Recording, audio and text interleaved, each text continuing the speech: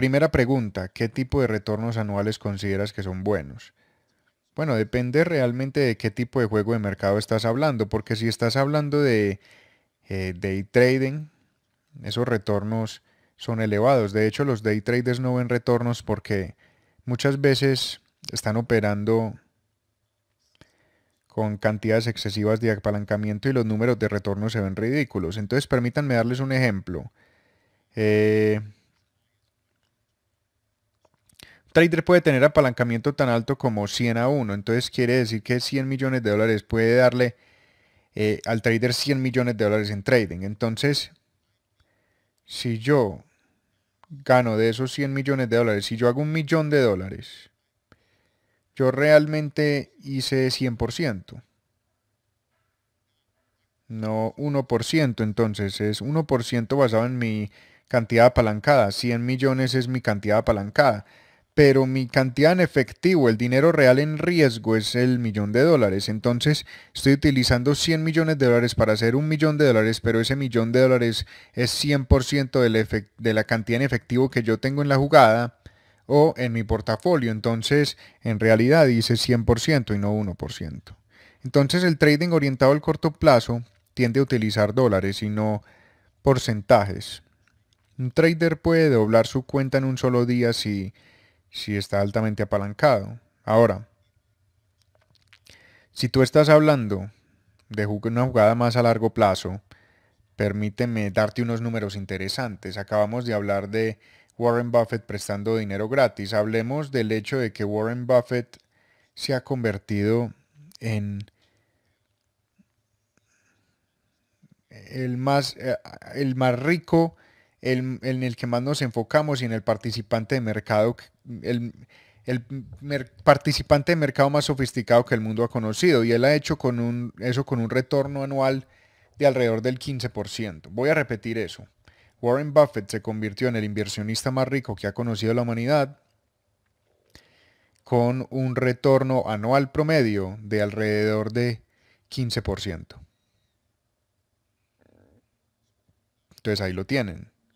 Ahora, debería saberse que Warren Buffett está jugando con cientos de billones de dólares, entonces 15% sobre esa cantidad realmente es impresionante y la consistencia con el tiempo es incluso más impresionante. Un jugador individual debería superar a Warren Buffett. Como para darles una idea general, mi programa de riqueza, mi programa de trading de riqueza, tuvo retornos anuales de alrededor de 300% durante la última década. Eso es anual durante 300% durante la última década. Un individuo debería ser capaz de superar el récord de Warren Buffett. Eso no le quita nada a Warren Buffett, es simplemente el hecho de que un trader individual, el inversionista, tiene el beneficio de ser más, más ágil. Podemos ser más ágiles que Warren Buffett. Nosotros no tenemos que comprar 88 millones de acciones durante los siguientes 7 meses. Podemos comprar ya.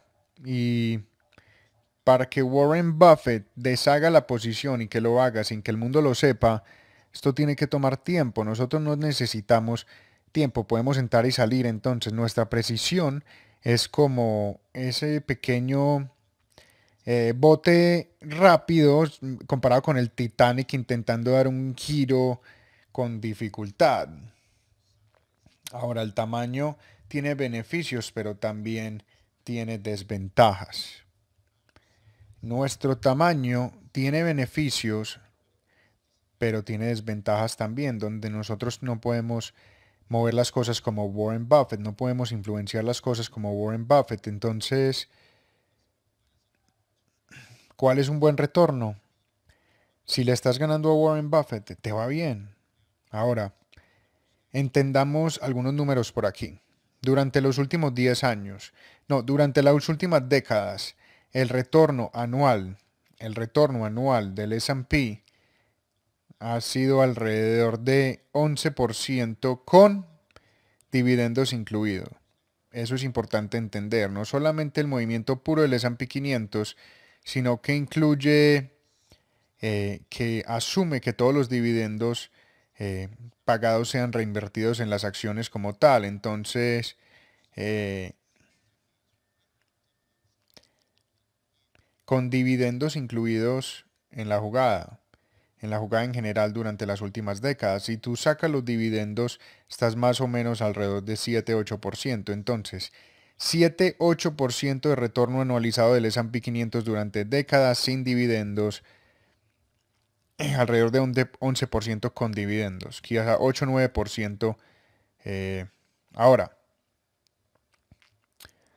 Nasdaq ha sido un poco más elevado, alrededor de 14%, ¿cierto? Entonces, 14% anualizado en promedio durante las últimas décadas. Ahora, durante la última década esos números se han elevado, entonces hemos pasado de alrededor de 14-15% en el S&P debido a la impresión de dinero durante la última década. Eso lo ha acelerado y además debido a la impresión de dinero de parte de la Reserva Federal habiéndolo acelerado, el Nasdaq ha saltado más hacia 18%, entonces que tenemos 14, 15, ahora 18% y esos son con los, los nuevos números. Entonces en este momento, en el ambiente de hoy, si tú estás haciendo 20%, tú le estás ganando al mercado. Y eso es el punto, es ganarle al mercado, porque si tú no le vas a ganar al mercado, entonces ¿qué estás haciendo? Será mejor comprar el mercado.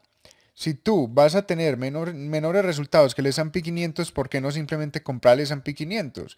Si el S&P 500 de forma consistente te gana, tú no deberías estar intentando hacer nada excepto eh, comprar el S&P 500. Si tú no le estás ganando al Nasdaq 100, entonces ¿por qué estás eligiendo acciones individuales? Compra el Nasdaq 100 y listo. Entonces, esos siempre van a ser tus puntos para el mercado. ¿Será que puedes ganarle al mercado? Ahora, cuando entras en el campo de las criptomonedas, en el Bitcoin, siendo el rey de todas las criptomonedas, siendo la única criptomoneda en cuanto a mí me consta.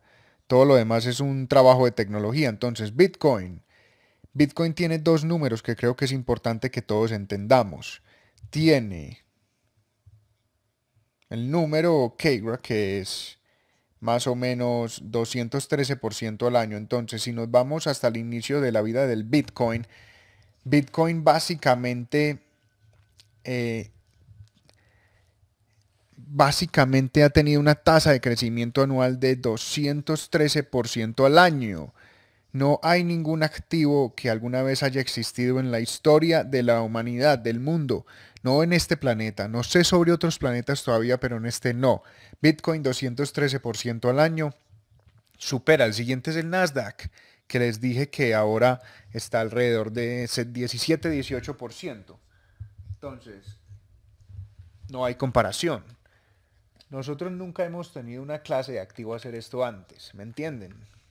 Pero otro número que creo que necesito que entiendan es el hecho de que es un poco injusto utilizar eh, los primeros años para el Bitcoin porque eh, Bitcoin operó cero. Entonces,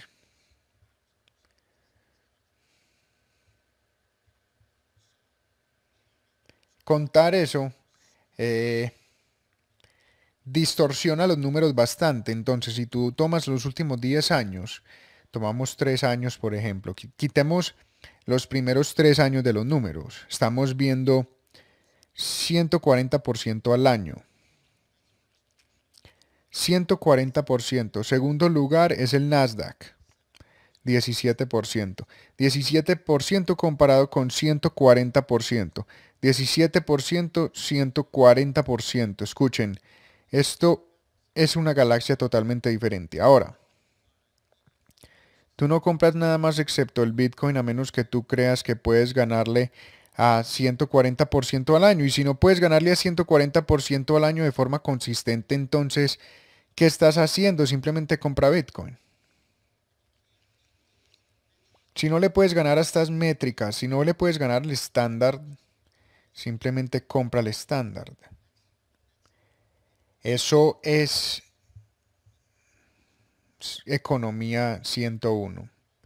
Solamente juega individualmente tú mismo si tú tienes la capacidad de ganarle al estándar. Si no, simplemente compra el estándar y vete a la playa.